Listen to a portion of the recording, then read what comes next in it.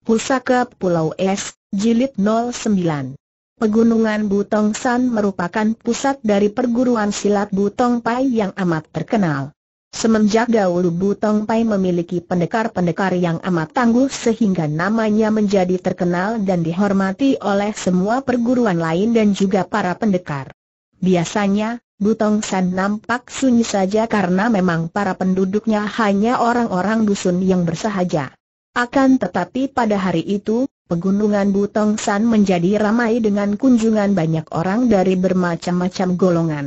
Ada yang berpakaian seperti Hwasyo, ada pula Tosu, ada yang berpakaian seperti pengemis dan ada pula yang seperti seorang hartawan. Ada yang sikapnya lemah lembut seperti kaum sastrawan, akan tetapi ada pula yang berpakaian ringkas dan sikapnya gagah perkasa seperti kaum persilatan. Undangan yang dilakukan oleh Butong Pai ternyata mendapat banyak sambutan. Siapa tidak mengenal Butong Pai? Kalau Butong Pai mengundang semua tokoh Kang Ou, berarti tentu ada keperluan yang sangat penting. Bahkan mereka yang tidak diundang sekalipun, hanya karena mendengar saja bahwa Butong Pai mengundang orang-orang Kang Ou, banyak pula yang turut datang untuk melihat perkembangan, menonton dan menambah pengalaman. Mereka ini dapat menduga bahwa yang diundang oleh pihak Butong Pai tentulah para jagoan-jagoan yang berilmu tinggi dan yang hanya mereka dengar namanya saja. Ketika itu yang menjadi ketua Butong Pai adalah Tianit Tosu, seorang Tosu berusia 60 tahun yang bertubuh sedang, berjenggot, dan berkumis panjang. Adapun pembantunya adalah dua orang murid utamanya, yaitu Tian Yang Chu dan Bok Im Chu yang dahulu pernah datang berkunjung ke rumah pendekar tangan sakti Yohon untuk menyampaikan surat dan undangan. Di antara para tamu itu terdapat pula Yohon, istrinya dan puterinya tidak ikut. Yohon datang ke Butong Pai dengan hati diliputi perasaan penasaran dan juga keheranan. Dia tak mengerti akan sikap Tiani Tosu. Kenapa mendadak Tosu itu hendak mengobarkan pemberontakan? Karena khawatir bahwa pertemuan itu akan mendatangkan keributan, maka dia melarang istri dan puterinya untuk ikut serta. Kalau terjadi keributan, biar dia sendiri yang akan menghadapinya. Seperti para tamu lainnya, Yohon juga disambut oleh dua orang murid utama itu. Para tamu dipersilakan duduk di sebuah ruangan yang luas sekali dan mereka mendapatkan tempat duduk yang diatur menurut kedudukan masing-masing. Ada tempat bagi para ketua perguruan dan para tokoh tingkatan tua, dan ada tempat bagi yang muda-muda. Yohon sebagai seorang pendekar yang amat terkenal mendapat tempat kehormatan di antara para ketua perguruan yang terkenal. Tentu saja Yohon bertemu dengan muka-muka lama yang sudah dikenalnya sehingga terjadilah pertemuan dalam suasana yang cukup menggembirakan di antara mereka. Anehnya, Tian Itosu sendiri belum kelihatan menyambut. Ketika ada orang yang menanyakan kepada Tian Yang Chu, atau Bok Im Chu, kedua orang Tosu ini menjawab bahwa suhu mereka sedang semedi dan nanti kalau sudah tiba saatnya tentu akan keluar menyambut para tamu. Setelah para tamu datang memenuhi ruangan itu, barulah Tianit Tosu muncul. Yohon yang sudah mengenal baik Tosu itu melihat betapa wajah Tosu itu agak pucat, seperti orang yang sedang menderita sakit. Tianit Tosu mengangkat kedua tangan ke depan dada, memberi hormat kepada para tamu dan berkata dengan suara parau, harap Cui maafkan, saya sedang sakit batuk dan serak. Lalu dia mempersilakan semua orang duduk dan dia sendiri duduk di kursi ketua yang sudah disiapkan. Tian Yang Chu lalu berdiri dan memberi hormat kepada semua orang yang hadir. Harap Cui semua suka memaafkan. Agaknya suhu mendadak menderita sakit batuk dan suaranya hampir hilang. Karena itu, Pinto yang ditunjuk sebagai wakil pembicara. Semua orang mengangguk-angguk dan maklum. Betapapun lihainya seseorang, apalagi kalau sudah tua, dapat saja terserang penyakit. Dan penyakit yang diderita Tianit Tosu itu meskipun tidak berat, namun membuat dia tidak mampu mengeluarkan suara sehingga sudah sepantasnya kalau diwakili oleh murid utamanya. Seperti yang Cui semua ketahui dari undangan suhu, Cui diminta berkumpul untuk menyatakan persetujuan atas usul suhu, yaitu mempersiapkan diri untuk menyerang kota raja dan menggulingkan kedudukan Kaisar Manchu. Sudah tiba saatnya bangsa kita dibebaskan dari belenggu penjajah bangsa Manchu. Kita semua yang berkumpul di sini adalah kaum patriot yang mencinta tanah air dan bangsa. Melihat bangsa kita dijajah oleh penjajah Manchu, apakah kita harus berpangku tangan saja? Kita harus bergerak, dan sekaranglah saatnya, selagi kaisar yang memegang tampuk pemerintahan seorang yang lemah. Kalau kita bersatu dan menyerbu kota raja, tentu kita akan menang dan dapat merampas istana, mengakhiri penjajahan. Ketika Tian Yang Chu berhenti bicara, suasana menjadi gaduh sekali karena mereka masing-masing saling berbicara sendiri. Tianit Tosu membiarkan mereka berunding sendiri, lalu memberi isyarat dengan tangannya kepada Tian Yang Chu, membisikkan sesuatu. Tian Yang Chu lalu bangkit berdiri lagi dan mengangkat kedua tangan ke atas. Mohon tenang, saudara sekalian. Kami percaya bahwa Cui, saudara sekalian, yang berwatak patriot tentu menyetujui pendapat dan usul ketua kami.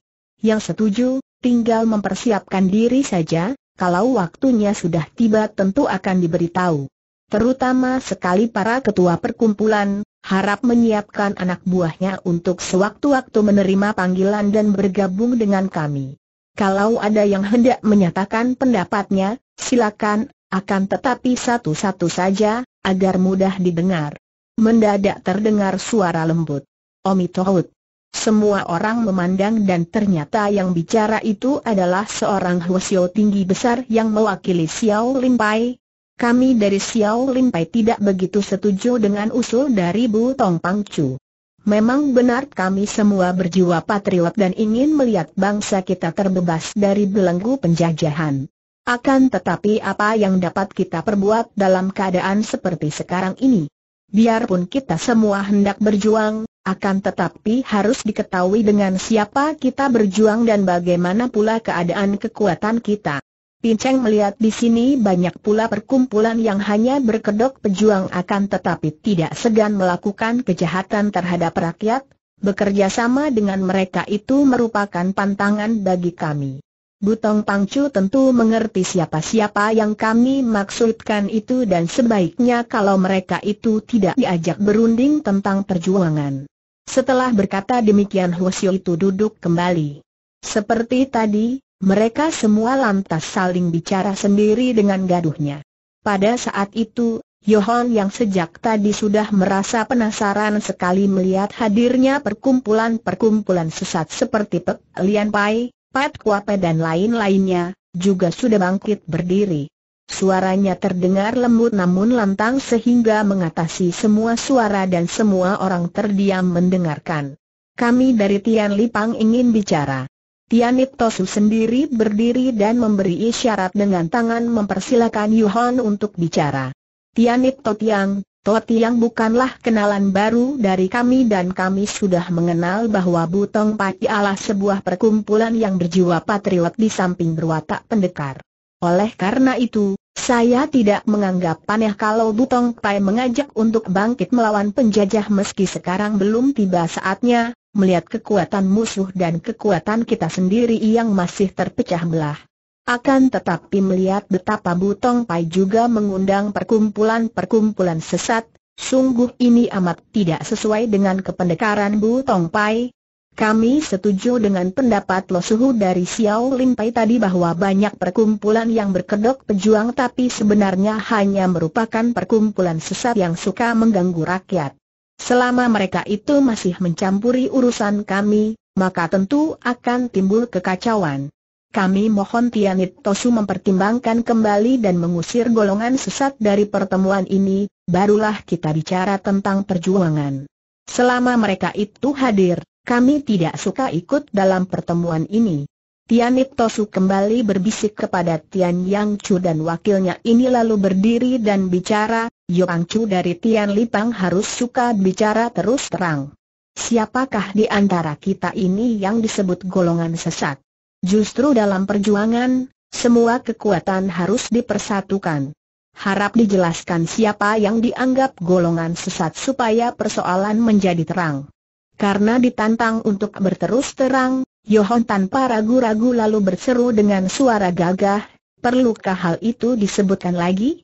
Semua orang gagah di sini mengetahui siapa-siapa tokoh sesat yang turut hadir di sini. Dan mengenai perkumpulan golongan sesat, siapa belum tahu bahwa Pek Lian Pai dan Pat Kua Pai merupakan perkumpulan sesat? Mengapa mereka menerima undangan pula? Bagaimanapun juga, kami tidak dapat bekerja sama dengan mereka itu. Sekarang Tianit Tosu bangkit berdiri dan dengan suaranya yang parau dia berkata, Yo Pangcu bicara tidak adil. Bukankah tadi Yo Pangcu sendiri yang mengatakan bahwa pihak musuh terlalu kuat sedangkan pihak kita masih terpecah belah? Mengapa kita tak mengajak dua perkumpulan itu turut berjuang? Dalam keadaan begini kita harus bersatu padu, menghilangkan kepentingan sendiri demi perjuangan. Tidak mungkin.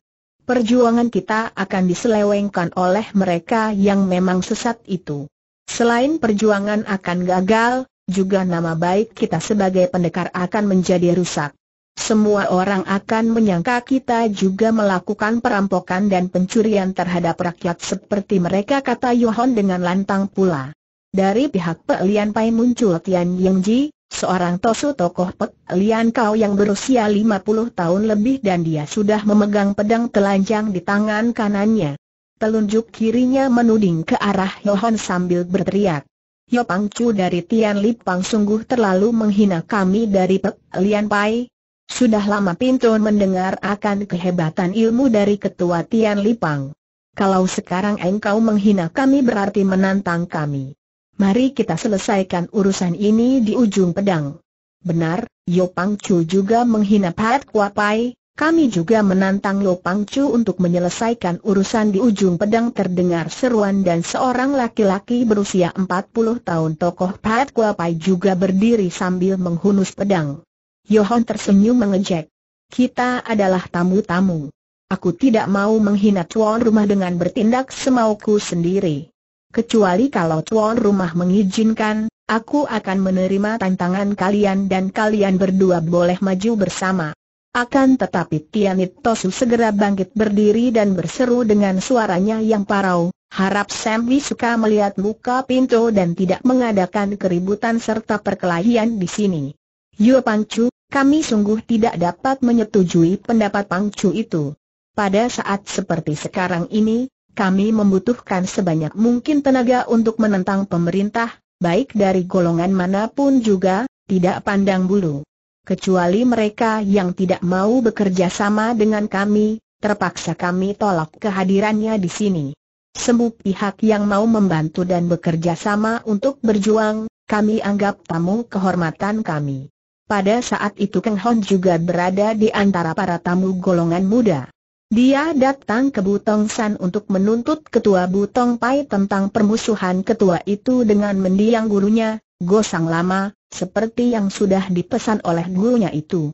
Ketika dia sedang mendengarkan perbantahan tadi, tiba-tiba lengannya disentuh orang.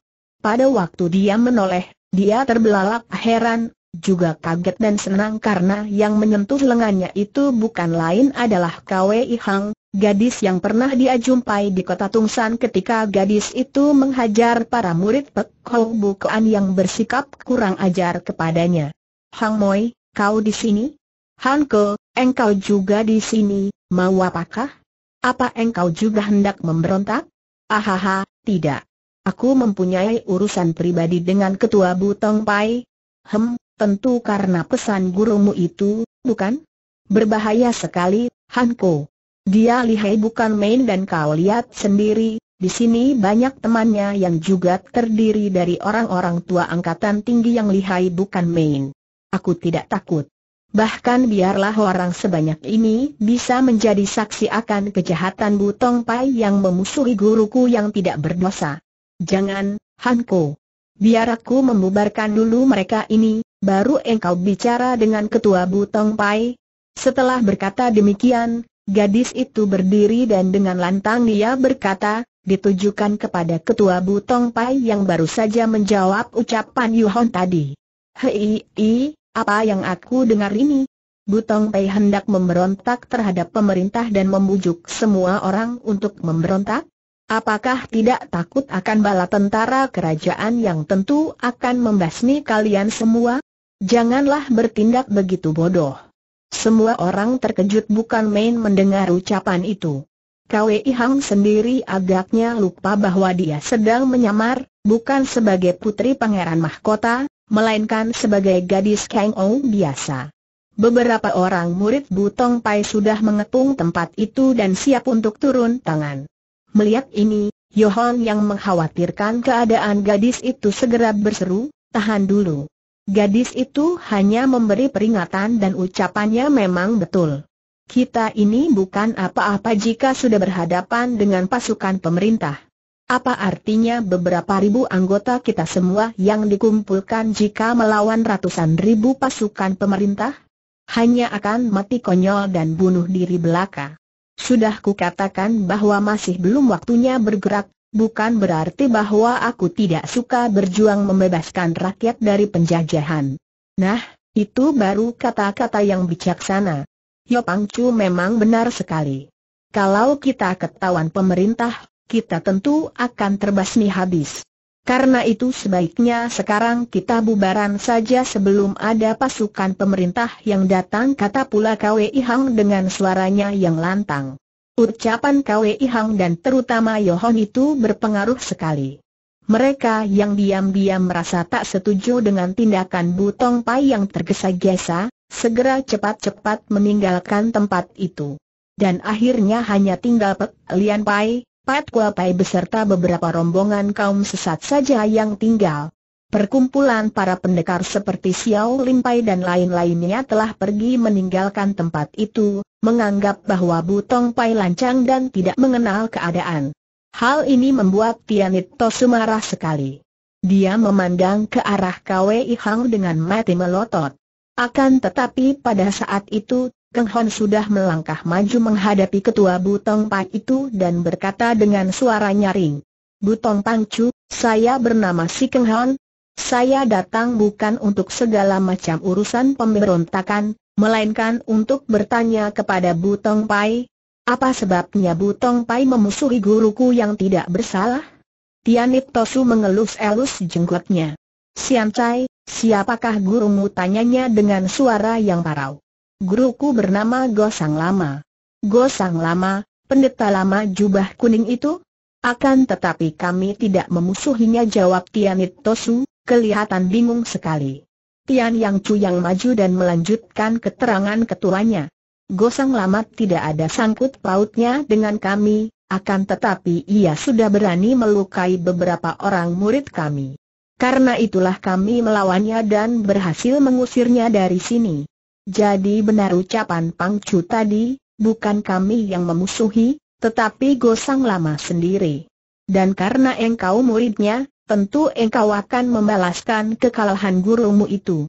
Tian Yang Chu melompat ke depan diikuti Bok In Chu dan kedua orang Tosu ini berdiri di depan Keng Hon dengan sikap menantang.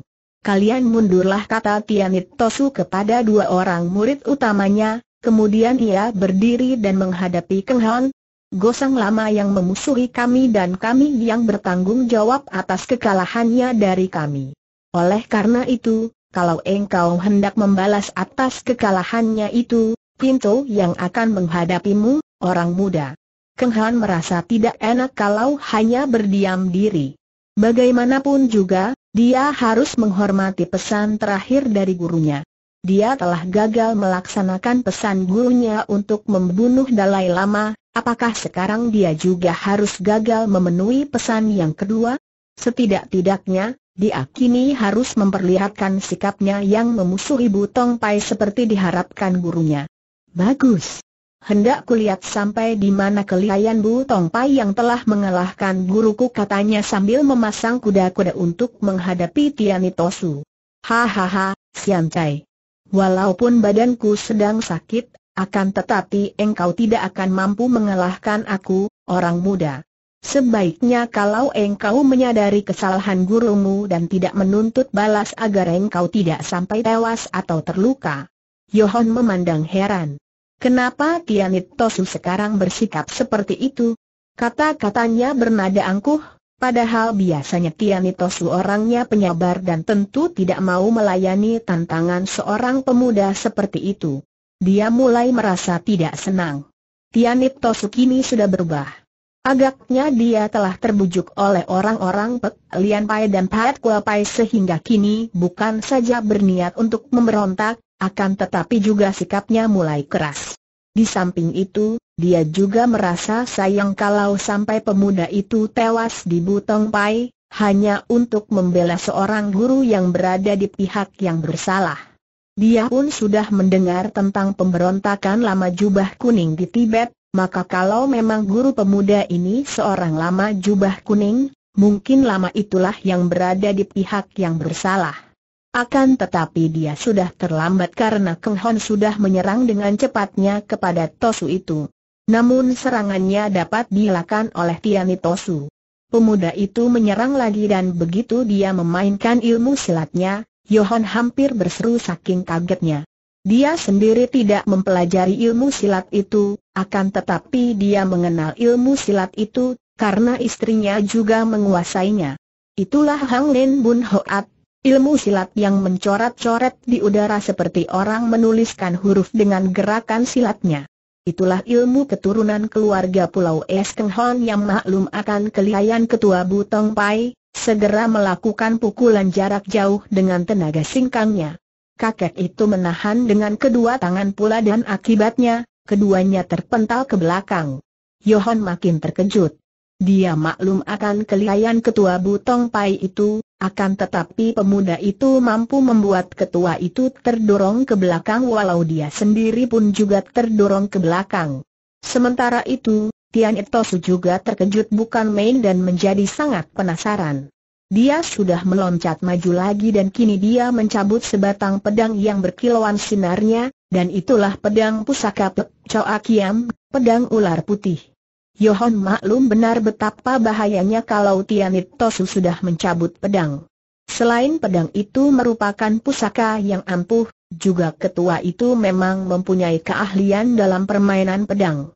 Maka, tanpa ragu lagi dia lalu melompat dan berdiri di antara mereka yang hendak berkelahi. Harap tahan dulu serunya lantang. Tianit Tosu sudah amat marah itu menegur, Yu Pancu, apakah engkau hendak turut mencampuri urusan Butong Pai? Tidak sama sekali, Totiang. Aku hanya ingin memperingatkan bahwa tidak semestinya Totiang melayani pemuda ini.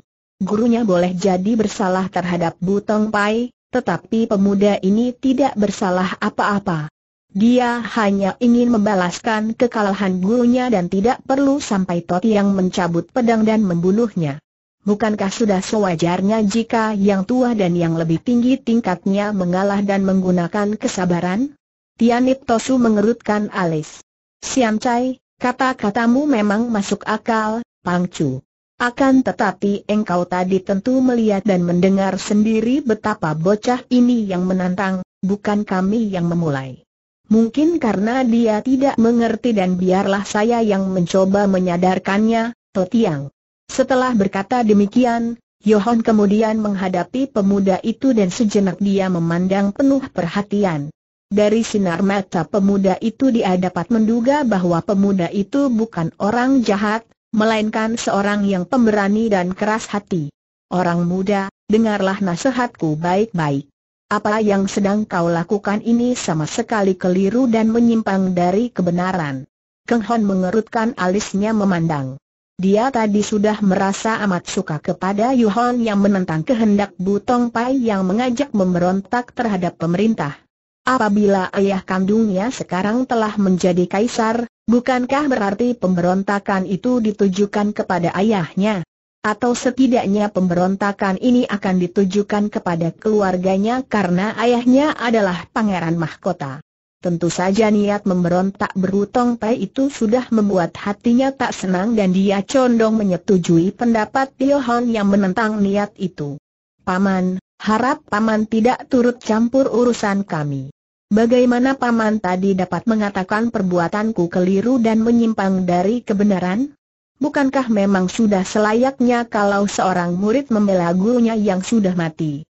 Sebelum meninggal dunia, guru saya memesan agar saya membalaskan permusuhannya dengan Butong Pai. Membalas dendam itu sendiri adalah perbuatan yang tidak benar, hanya menurutkan nafsu kebencian dan amarah. Setelah engkau mendapat keterangan bahwa gurumu berada di pihak yang bersalah, apakah engkau akan melanjutkan balas dendammu itu? Bukankah jika begitu berarti engkau akan menambah beban dosa gurumu? Sepatutnya engkau menebus kesalahan gurumu dengan perbuatan yang benar, bukan menambah besar dosa itu dengan perbuatan yang tidak benar. Engkau masih amat muda dan perlu banyak belajar dari kehidupan, jangan menurutkan nafsu. Apa yang dapat kau lakukan terhadap perkumpulan butong pai yang besar? Ketahuilah, aku sendiri menjadi saksi bahwa perkumpulan Butong Pai terdiri dari pendekar-pendekar yang berilmu tinggi dan tidak biasa melakukan kejahatan. Kembali Keng Hon merasa terpukul sekali.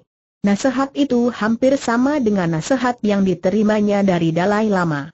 Pada saat itu, Kwei Hang sudah berada di sampingnya.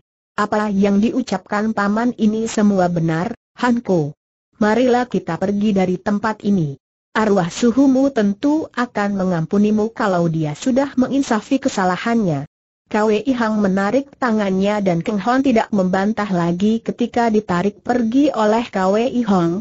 Adapun Yohon merasa senang sekali melihat pemuda itu sudah mau meninggalkan tempat itu. Dia sendiri lalu memberi hormat kepada Tianit Tosu dan berkata, Terima kasih atas undangan Totiang, dan saya mohon diri karena merasa tidak pada tempatnya kalau saya menghadiri pertemuan ini, melihat dua orang tokoh dari Pek Lian Pai dan Pat Kua Pai yang tadi menantangnya, dia lalu menambahkan sambil menoleh ke arah mereka.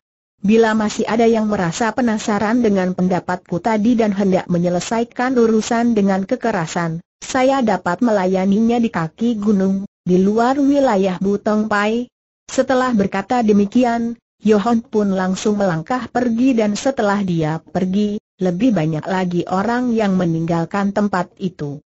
Terpaksa sekarang Tianit Tosu melanjutkan perundingannya hanya dengan orang-orang yang sebagian besar berasal dari golongan sesat. Orang muda, perlahan dulu.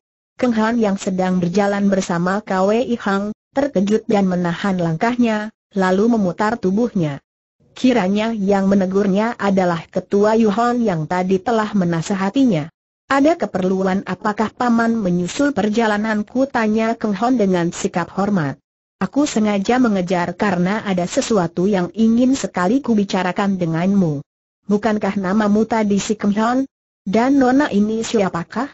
Namaku Kwe Ihang, paman, kata Kwe Ihang ramah. Paman berani sekali menentang para pemberontak itu, Untung tadi tidak terjadi perkelahian. Engkau lebih berani lagi, Nona. Engkau bahkan mengancam mereka semua sehingga dapat menyadarkan banyak orang. Aku hanya bicara sebenarnya. Di waktu yang aman ini, kenapa orang bicara tentang pemberontakan? Jika ketahuan pemerintah, bukankah itu mencari penyakit namanya? Paman, kata Keng Hon, urusan apakah yang hendak Paman bicarakan dengan aku? Begini, Keng Hon, benarkah gurumu itu gosang lama? Benar sekali. Akan tetapi aku melihat gerakan ilmu silatmu tadi sama sekali tidak asing bagiku. Bukankah engkau tadi menggunakan ilmu silat Hang Ing Bun Hoat, ilmu dari keluarga Pulau Es? Apakah engkau masih keluarga atau murid keluarga Pulau Es? Sama sekali bukan, Paman. Terus terang saja, aku mempelajari ilmu itu dari Pulau Hantu, melalui coretan-coretan di dinding goa di sana. Ah, engkau telah mewarisi ilmu yang menjadi pusaka Pulau Es. Akan tetapi tiba-tiba mereka menghentikan bicara mereka karena mereka mendengar gerakan orang. Dan tak lama kemudian tempat itu sudah penuh dengan orang-orang Pek Lian Pai dan Pat Kua Pai, jumlah mereka tidak kurang dari 50 orang, dan dipimpin oleh Tian Yang Ji, tokoh Pek Lian Kau itu dan seorang Tosu bernama Kuai Tosu tokoh Pat Kuapai. Di dekat mereka masih terdapat seorang pemuda yang amat gagah perkasa, tinggi besar dan berwajah tampan, matanya lebar sekali menambah ketampanan wajahnya yang bundar. Yo Pangcu, engkau tadi menantang kami. Nah, sekarang kami datang untuk mencoba kepandaian Ketua Tian Lipang kata Tian Yang Ji dengan marah. Ketua Tian Lipang ternyata hanya seorang penakut yang pura-pura menjadi patriot, tidak berani diajak berjuang melawan penjajah kata pula Kuai Tosu. Yohon memandang dengan senyum mengejek. Sikapnya yang tenang membuat Keng Hon dan Kwei Hang kagum sekali. Dikepung 50 orang lebih masih bisa demikian tenangnya. Ketua Tian Lipang ini benar-benar seorang gagah perkasa. Diam-diam Keng Hon mengambil keputusan untuk membela Ketua Tian Lipang ini sekuat tenaga. Mempergunakan banyak orang untuk menggertak, apakah ini yang dinamakan gagah perkasa?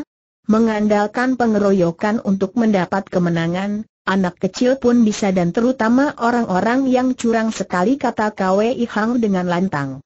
Gadis lancang mulut. Tadi pun di sana engkau bicara seakan-akan engkau membela kerajaan Manchu. Apakah engkau adalah seorang antek atau met-met Manchu? Untuk melawanmu, tidak perlu keroyokan, Pelinto sendiri saja pun cukup untuk melawanmu kata Kuai Tosu menantang gadis itu. Bagus. Siapa takut kepada segala macam Tosu bau? Jubahmu saja seperti Tosu dan Pertapa, akan tetapi siapa tidak tahu di dalamnya? Engkau seperti buaya berkulit ikan emas, di luarnya bagus di dalamnya busuk. Aku tidak takut kepadamu kata Kwei Hang sambil mencabut pedangnya. Gadis yang pakaiannya serba biru ini lalu membusungkan dada dan memandang dengan mata bersinar-sinar. Tu Yeu, hati-hatilah. Melihat hiasan rambut gadis itu, agaknya dia yang disebut orang si bangau emas kata Tian Yang Ji memperingatkan kawannya. Wah, Kebetulan sekali kalau begitu. Benarkah engkau si bangau emas? Nona tanya Kuai Tosu. Kalau benar, mau apa? Lekas engkau minggat dari sini kalau takut. Hahaha, masih muda tetapi mulutnya tajam sekali dan lagaknya seperti seekor naga. Bagus, mari kita main-main sebentar, Nona Kuai Tosu juga mencabut pedangnya. Kwei Hang segera menyerang dengan hebatnya.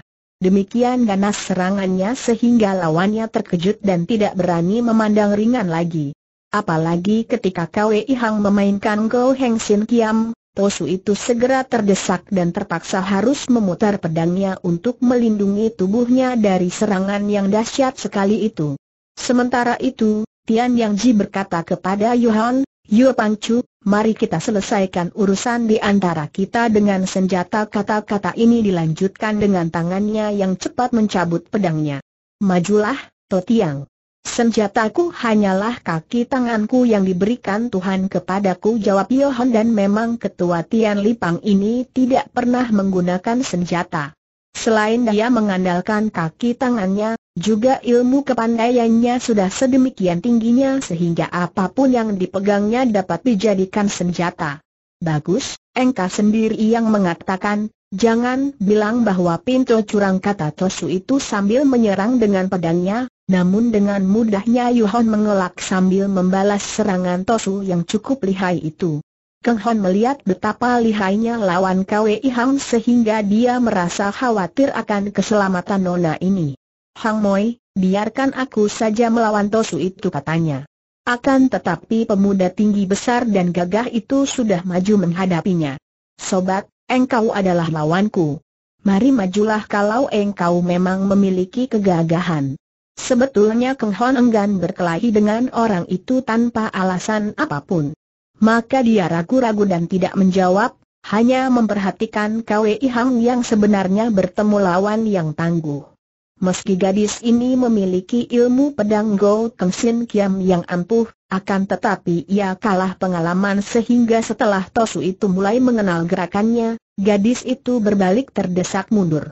Oleh karena tidak ditanggapi oleh Keng Hon, pemuda itu juga memperhatikan jalannya perkelahian antara Yuhon dan Tian Yang Ji.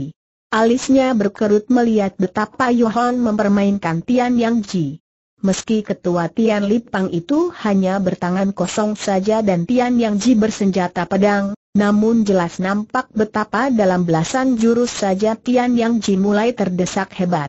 Melihat ini, Pemuda itu mengeluarkan teriakan mengguntur dan melompat dekat lalu menyerang Yohan dengan pukulan jarak jauh yang mendatangkan angin besar. Yohan terkejut dan menangkis. Tangkisan itu membuat dia mundur dua langkah, akan tetapi pemuda itu pun terhuyung mundur. Melihat pemuda itu melakukan pengeroyokan, Keng Hon menjadi penasaran. Jangan curang Keng Hon berseru dan dia lalu menyerang pemuda itu. Pemuda itu menangkis dan kembali dua tenaga yang dahsyat bertemu. Akibatnya Keng Hon terdorong mundur, akan tetapi pemuda itu pun terhuyung. Keduanya sama-sama terkejutnya dan maklum bahwa lawan memiliki tenaga yang kuat sekali. Kini pertandingan menjadi tiga pasang. Kwei Hang masih terdesak oleh Kuai Tosu yang lihai sekali ilmu pedangnya. Untung Kwei Hang sudah menguasai Go Heng Sin Kiam sehingga ia masih mampu melindungi dirinya sehingga pedang lawan tak pernah dapat menembus pertahanannya. Kalau tidak tentu sudah sejak tadi ia roboh. Sebaliknya, perkelahian antara Yuhon melawan Tian Yang Jia justru membuat Tosu itu terdesak. Walaupun ia berpedang dan Yuhon tidak, namun dia hampir tidak kuat lagi menghadapi ilmu bukek Hoat Keng dari Yuhon yang amat hebat. Akan tetapi yang paling ramai dan dahsyat adalah pertandingan antara Keng Hon dan pemuda itu. Mereka ternyata memiliki tenaga yang seimbang. Keng Hon memainkan ilmu-ilmu yang diperolehnya dari Pulau Hantu, yaitu Hang Ingbun Hoat dan Toat Beng Bian Kun, bahkan mengerahkan tenaga panas dan dingin yang berada di tubuhnya. Akan tetapi, pemuda itu masih dapat mengimbanginya dengan ilmu silat yang aneh dan bentakan-bentakan yang mengandung kekuatan sihir. Bila saja Keng Hon tidak memiliki sinkang yang kuat sekali berkat latihan HWI yang sinkang dan Swat Im sinkang, tentu dia terpengaruh oleh bentakan-bentakan yang mengandung kekuatan sihir itu. Tiba-tiba Tian Yang Ji yang terdesak itu berseru dan anak buahnya maju mengeroyok, demikian pula dengan anak buah Kuai Tosu. Lima puluh orang maju mengeroyok tiga pendekar itu. Tentu saja Johan, Kwei Hang dan Keng Hon harus mengerahkan seluruh kepandaian dan tenaganya menghadapi pengeroyokan itu. Mereka sudah merobohkan beberapa orang pengeroyok, akan tetapi karena lawan mereka tangguh sekali, pengeroyokan itu membuat mereka sibuk juga. Terutama Kwei Hong. Menghadapi Kwai Tosu seorang saja ia sudah repot, apalagi dikeroyok belasan orang. Ia mulai main mundur dan lelah karena harus menangkis sekian banyak senjata yang menyerangnya. Keadaan gadis itu mulai gawat, sedangkan Yuhon dan Keng Hon tidak berdaya menolongnya karena mereka sendiri repot dengan pengeroyokan itu. Pada saat yang gawat itu, tiba-tiba terdengar suara kaki kuda yang banyak sekali, dan tidak lama kemudian muncul pasukan pemerintah yang tidak kurang dari seratus orang banyaknya. Seorang perwira yang memimpin pasukan itu berseru, Chuan Puteri dalam bahaya. Cepat selamatkan beliau. Dia sendiri sudah menyerbu dengan pedangnya membantu Kwei Hang yang dikeroyok oleh banyak orang. Para anak buah pasukan itu pun serentak menyerbu dan kini anak buah Pekelian Pai dan Pat Kuapai berbalik menjadi kalang kabut dan langsung terdesak hebat oleh pasukan yang dua kali lipat banyaknya itu. Melihat ini, Tian Yang Ji terkejut bukan main. Ia cepat memutar pedangnya, melompat mundur dan melihat keadaan yang tidak menguntungkan itu, ia berteriak, Gulam Seng, cepat melarikan diri.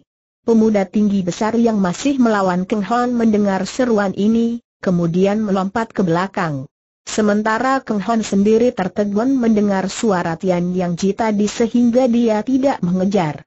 Gulam Seng, dia teringat akan pesan mendiang gurunya, gosang lama supaya kelak bekerja sama dengan putra suhunya itu yang bernama Gulam Seng.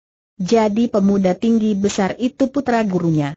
Menurut penjelasan Dalai Lama, putra gurunya itu telah menjadi murid Dalai Lama. Tidak mengherankan bila dia mempunyai ilmu yang tinggi sehingga dalam pertandingan tadi dia tidak mudah mengalahkannya. Kuai Tosu juga melarikan diri bersama Tian Yang Ji, lalu diikuti teman-temannya yang belum roboh. Dalam sekejap saja kedua orang ini sudah lenyap dari pandangan. Jangan kejar teriak Kwei Hang kepada komandan pasukan itu. Perwira itu menghampiri Kwei Hang dan memberi hormat.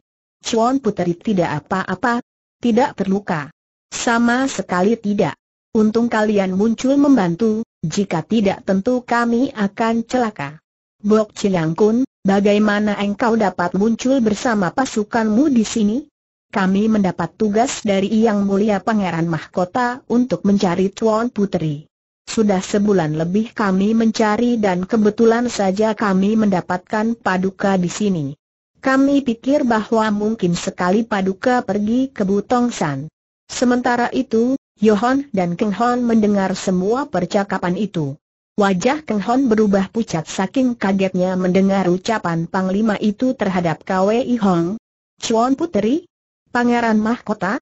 Apa artinya ini? Jadi Kwei Hang adalah seorang putri istana dan masih ada hubungannya dengan Pangeran Mahkota? Yohon juga tercengang dan dia lalu memberi hormat kepada Kwei Hong. Kiranya Nona adalah tuan putri dari istana. Maafkan kalau saya bersikap kurang hormat. Ahaha, Paman Yo. Putri atau bukan aku tetap saja sama, dan aku yang berterima kasih. Kalau tidak ada paman tadi, Tentu aku sudah celaka di tangan mereka. Keng Hon memandang gadis itu dan Kwei Hang juga memandangnya. Dua pasang mata bertemu pandang, dan melihat pemuda itu diam saja tanpa mengeluarkan suara, Kwei Hang tersenyum dan berkata, Hanko, mengapa engkau diam saja? Engkau, engkau adalah putri istana, dan aku, Keng Hon tidak dapat melanjutkan kata-katanya. Dia tadinya hendak berkata bahwa dia pun putra pangeran mahkota. Untung dia masih ingat dan menyimpan rahasianya. Sebelum dia bertemu dengan ayahnya, dia tidak akan membuka rahasianya. Benar, aku memang putri pangeran mahkota dan namaku Tao Kwei Hang, lalu kenapa, Hanko? Aku masih Kwei Hang yang biasa itu bagimu. Akan tetapi, Chuan Putri. Air, sebut aku Hang Moe seperti biasa, Hanko. Kita masih tetap sahabat, bukan? Benar, Hang Moi, kita tetap bersahabat. Pada saat itu, Bong Chiang Kun memberi hormat kepada Kwei Hang dan berkata, sudah berbulan Paduka meninggalkan istana. Yang mulia pangeran amat gelisah, maka harap Paduka segera mengikuti kami untuk pulang ke kota raja. Itu benar sekali, Chuan Putri. Sebaiknya Tuan Putri segera mengikuti pasukan ini dan pulang ke kota raja, kata Yohon yang ikut merasa tidak enak sekali. Tanpa disengaja, dia malah melindungi putri pangeran penjajah. Keng Han merasa tidak enak jika diam saja. Memang itu yang paling tepat, Hang Moi. Orang tuamu tentu cemas memikirkan keselamatanmu. Engkau ikutlah dengan kami ke kota raja, Hanko. Bukankah dulu engkau mempunyai niat melihat-lihat kota raja? Tidak sekarang, Hang Moi. Lain kali bila aku ke kota raja, aku tentu akan mencarimu. Benarkah, Hanko? Datang saja ke istana ayahku. Ayahku adalah pangeran mahkota dan semua orang tahu di mana istananya. Keng Han merasa terharu. Jangan-jangan gadis ini adalah saudaranya seayah. Baik, Hang Moi, Kwei Hang lalu diberi seekor kuda yang bagus dan berangkatlah ia dikawal pasukan itu meninggalkan kaki pegunungan Butong San. Setelah gadis itu pergi dan derap kaki kudanya tidak terdengar lagi, bayangannya tidak nampak lagi, Keng Hon terharu dan menghela napas panjang. Yohon agaknya mengerti akan isi hati pemuda itu dan dia pun menghibur, ada waktunya berpisah dan ada waktunya bertemu, sobat muda. Aku melihat gadis itu baik sekali padamu sehingga kelak kalian tentu akan dapat saling berjumpa kembali. Tiba-tiba timbul keinginan di dalam hati Keng Hon untuk minta keterangan dari Yohon ini.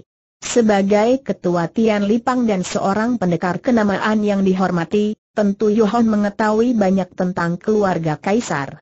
Paman Yo, kalau boleh aku bertanya, siapakah nama pangeran mahkota itu? Pertanyaan yang diajukan sambil lalu ini tidak menarik kecurigaan Yuhon dan dianggap pertanyaan biasa seorang yang ingin tahu karena pangeran mahkota itu ayah dari gadis yang menjadi sahabat pemuda itu. Namanya pangeran mahkota Tao Kuang. Keng Hon menyimpan keheranannya. Tadinya dia menduga bahwa pangeran mahkota bernama Tao Seng. Atau kehayahnya itu kini telah menjadi kasar?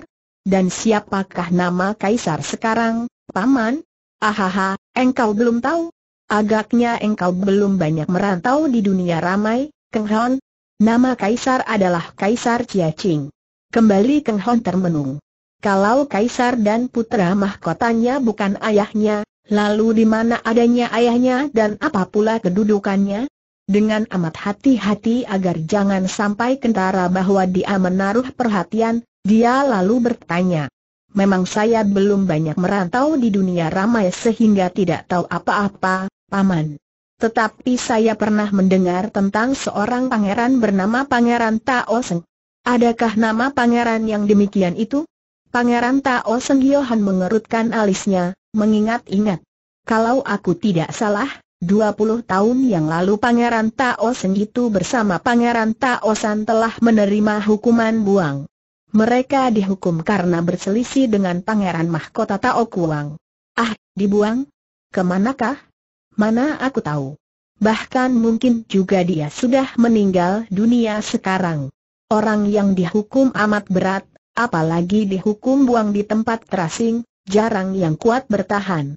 Hampir saja Keng Hon meloncat saking kaget dan sedihnya mendengar ini. Ayahnya yang disangkanya menjadi pangeran mahkota atau bahkan kaisar itu, telah meninggal dalam pembuangan. Kenapa, Keng Hon? Kenapa engkau menanyakan pangeran itu? Ahaha, tidak apa-apa, Paman. Hanya aku pernah bertemu seorang yang dahulu pernah ditolong oleh Pangeran Tao Seng, dan dia minta tolong kepadaku untuk menyampaikan hormatnya kalau aku kebetulan bertemu dengannya. Oh begitukah? Keng Hon, aku tertarik sekali melihat engkau ketika tadi berkelahi melawan pemuda tinggi besar yang lihai sekali itu. Engkau dapat menahan pukulannya dan engkau menggunakan ilmu-ilmu Pulau Es agaknya aku sempat melihat engkau mempergunakan ilmu Toat Beng Bian Kun pula. Benarkah? Keng Hon juga kagum sekali. Orang ini dapat mengenal ilmu pukulannya, padahal dia sendiri dalam keadaan sedang dikeroyok oleh banyak orang. Benar, Paman. Memang di Pulau Hantu itu aku menemukan dua ilmu silat itu yang kupelajari dengan tekun dan tenagamu itu. Coba kau terima pukulanku ini, Keng Hon. Yohon segera mendorongkan kedua tangannya ke arah Keng Hon. Serangkum angin yang dahsyat lantas menyambar sehingga Keng Hon amat terkejut. Cepat dia menerima dengan kedua tangannya dan secara otomatis dua hawa yang berlawanan di dalam tubuhnya bekerja. Wuut, dos keduanya terdorong ke belakang dan Yohon berseru kaget. Ahaha, Bukankah kedua tanganmu itu tadi menggunakan tenaga Hwe yang Sinkang dan Suat Im Sinkang? Karena sudah terlanjur ketahuan, terpaksa Keng Hon membenarkan. Memang aku juga mempelajari Sinkang itu dari coretan di dinding gua. Bukan main. Kalau begitu engkau benar-benar telah mewarisi pusaka Pulau Es, Keng Hon. Berhati-hatilah engkau dan pergunakan ilmu-ilmu itu untuk kebaikan. Ketahuilah bahwa keluarga para pendekar Pulau Es adalah para pendekar yang gagah perkasa. Kalau engkau keliru menggunakan ilmu-ilmu itu ke arah kejahatan, pasti mereka semua akan mencari dan membinasakanmu. Ilmu-ilmu pusaka Pulau Es tidak boleh digunakan untuk kejahatan. Semoga Tuhan menghindarkan aku dari perbuatan jahat, Paman Keng Hon berkata penuh semangat. Ia adalah putra bangsawan. Ayahnya seorang pangeran Manchu dan ibunya adalah putri kepala suku Hitan. Bagaimana mungkin dia bisa menjadi seorang penjahat? Mereka lalu berpisah. Yohon kembali ke Tian Lipang di Bukit Naga dan Keng Hon melanjutkan perjalanannya. Akan tetapi dia menjadi bingung. Bagaimana kalau ayahnya benar-benar telah tewas seperti diduga oleh Yohon tadi? Bagaimanapun juga, dia harus menyelidiki ke kota raja dan kalau benar ayahnya telah mati, dia harus membalas kematian ayahnya itu. Pantas selama ini ayahnya tak pernah menengok ibunya. Kiranya ia telah dihukum buang. 20 tahun yang lalu, jadi tidak lama setelah ayahnya meninggalkan ibunya.